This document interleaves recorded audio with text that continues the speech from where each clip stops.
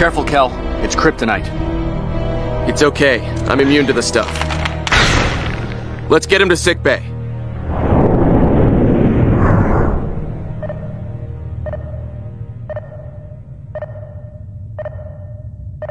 Wha how is he? He's gonna be just fine, Cam.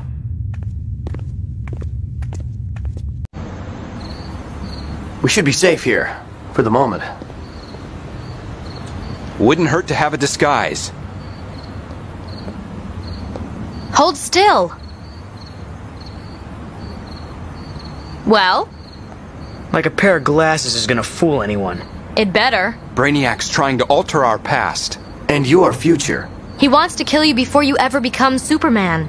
Super who? Superman! You!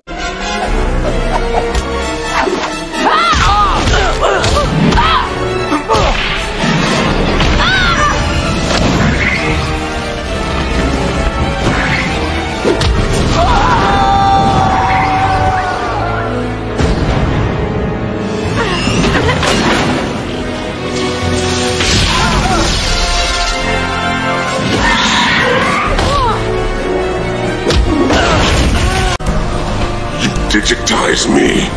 No. You? You I will simply delete.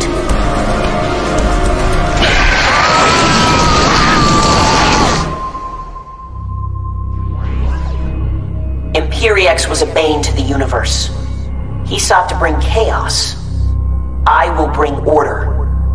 Trying to stop me would be ill-advised.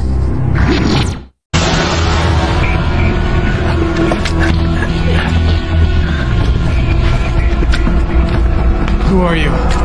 What's going on?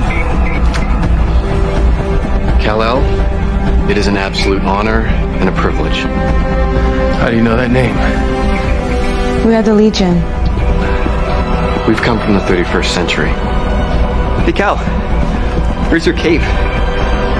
Cape. Yeah, I can read minds. Saturn Girl. Cosmic Boy, he's generating that magnetic field. And Lightning Lad. Electricity power, I got it. And I'm not even a telepath. He's about to break free. I don't mean to pull rank, but technically I was the last elected leader, so. Rank is the word, alright. As in your smell.